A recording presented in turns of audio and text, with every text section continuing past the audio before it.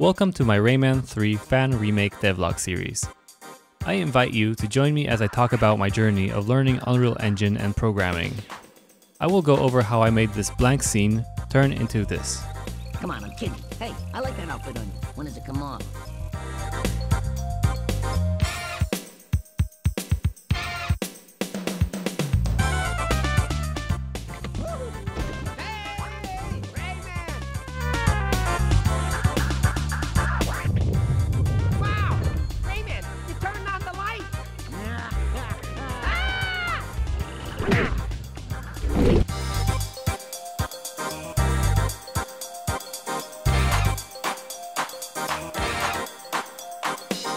Be showing the models I've made, C++ code, and blueprint code. Alright, let's dive in. Before I continue on with the wildlife and such, I'd like to add in the second area, so why don't we kick this off with a montage again.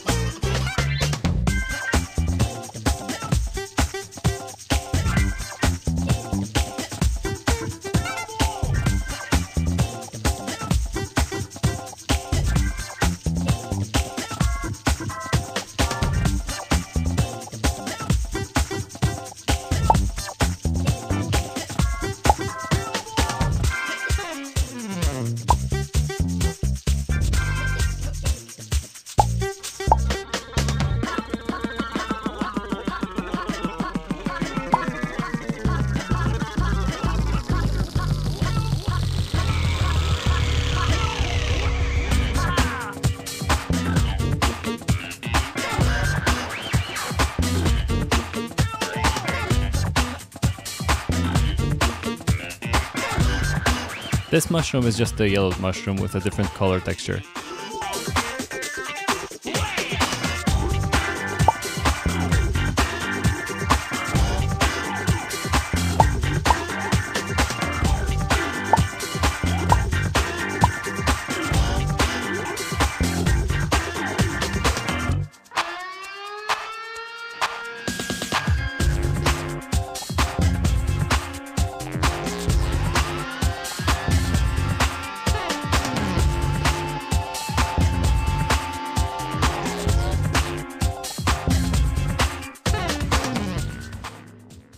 In the original, this area had some water and waterfalls. I followed Prismatica Dev's tutorials for water shader, and this is the effect.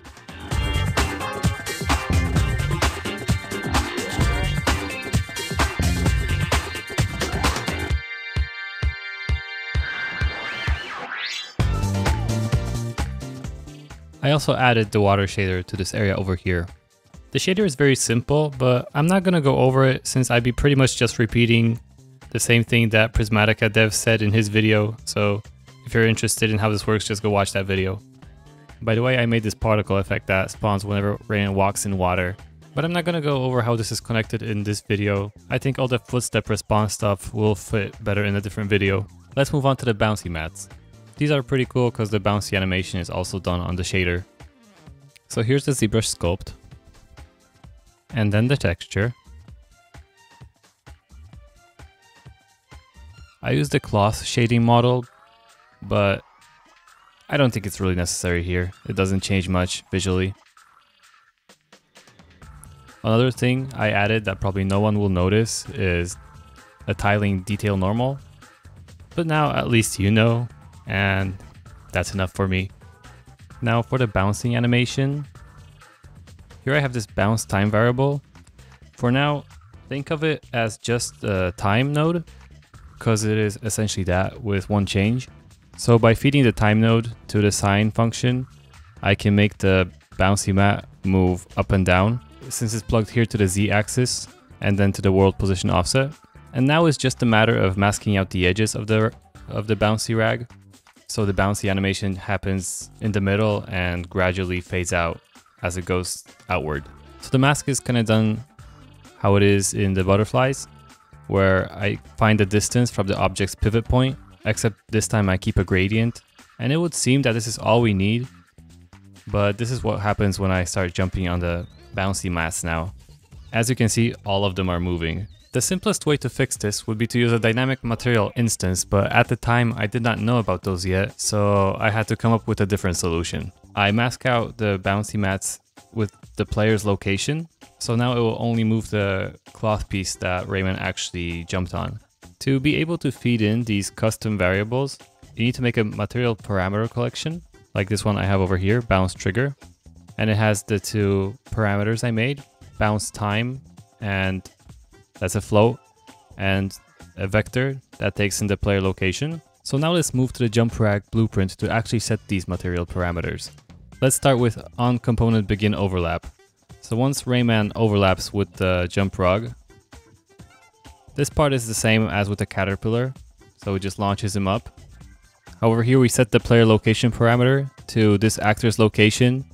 It doesn't really matter if I feed in here this actor's location or player's location, since they're pretty much in the same spot once the overlap happens.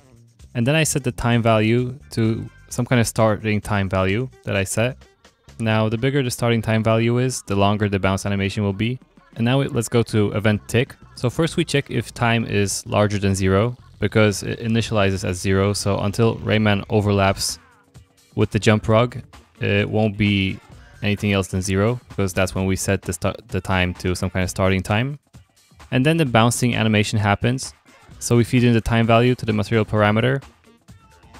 And every frame, as long as time is bigger than zero, we decrease its value.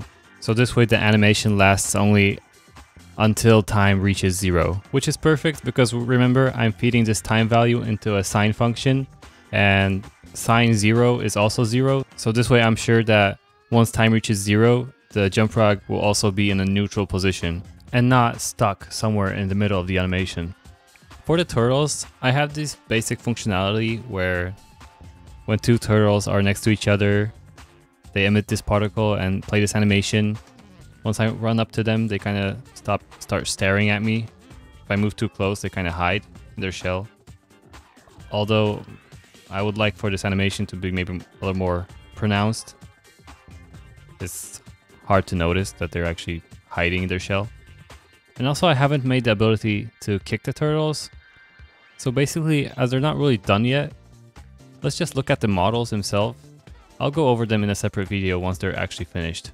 Also, I would like for everyone to see that there's a turtle chilling here in the water.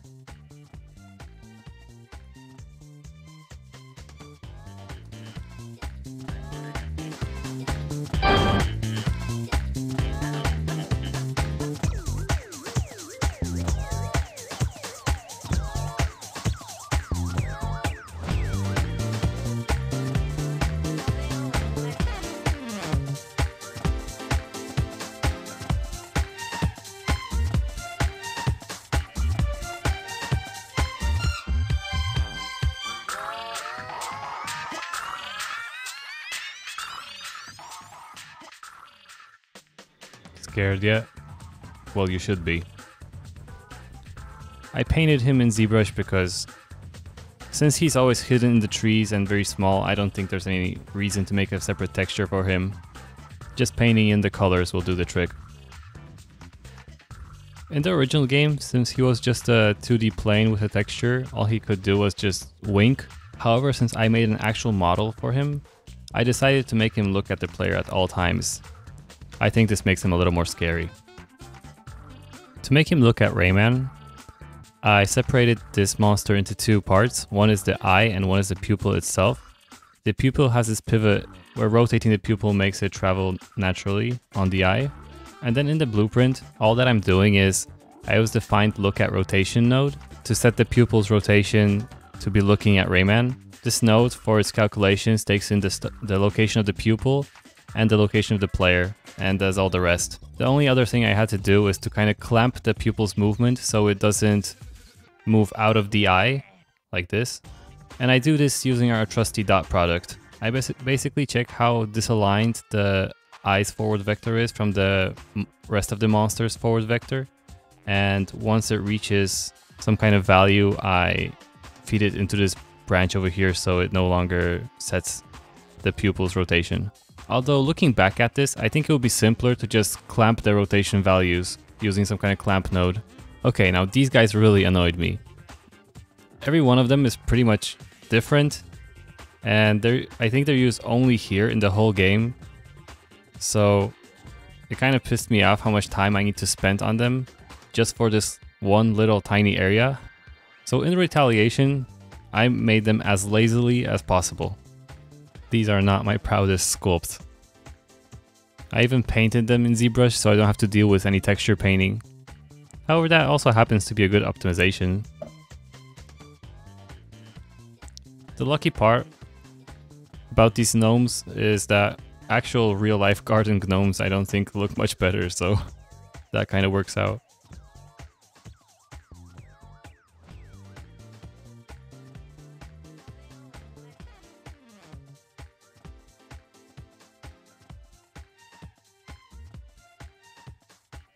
This one's gonna get me banned.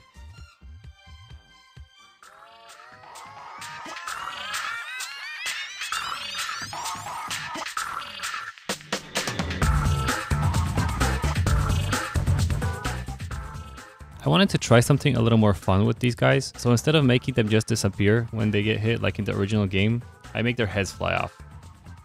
And I made them physical objects so we can push them around.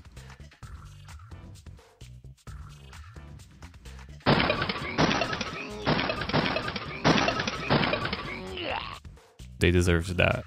By the way, making Rayman push physical objects wasn't so simple since I'm using the collide and slide algorithm. To kind of move around that issue, I actually gave Rayman a second collider that's a little bigger than his normal collider. And all this physics collider does is it pushes physical objects around. It doesn't do anything with Rayman's movement or stuff like that.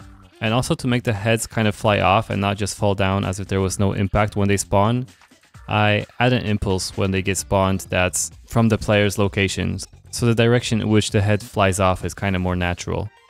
In the original game, when you would walk on mushrooms, this particle would spawn, and also the mushrooms would kind of bounce underneath you. So I kind of made a similar thing, except I gave the particle system some more color, because it kind of looked like a fart, to be honest, when it was green. And now I think it looks a little more like mushroom spores.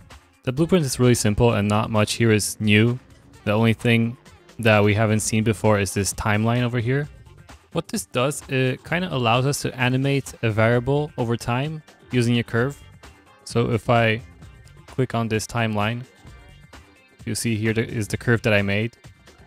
And what this means essentially is that at the beginning of the timeline, so when it starts playing, the value of my float will be minus 1 and it gradually goes from minus 1 to 1 over the duration of 0.3 seconds. You can see that variable that is updated in the timeline is fed into add world offset of the mushroom. So since it starts from minus 1, I have a strong downward offset, but as the value updates, the mushroom slows down and then starts going back up again. And then once the timeline finishes, I snap the mushroom to its starting location. This is just a safeguard because the timeline doesn't guarantee the mushroom will return to its exact original location. So by jumping on the mushroom, a lot of times you could probably move it further and further away from its original position. As someone who really likes stats, let's go over some just like we did with the Fairy Council. So to make these two additional locations, I made 30 new 3D models, 8 of which were the gnomes actually. So two terrain pieces, 9 different tree models, 2 tree tunnels, 1 arrow rock, 1 flat rock, 1 wooden wheel, 1 wall mushroom, and 1 tall mushroom. The butterflies, the turtles, the wall monsters, and the caterpillar. Combining this with the Fairy Council location, this adds up to 92 different 3D models. To be clear, I'm just talking about environment stuff, so I'm excluding everything that has to do with Rayman or the Crab Ninja.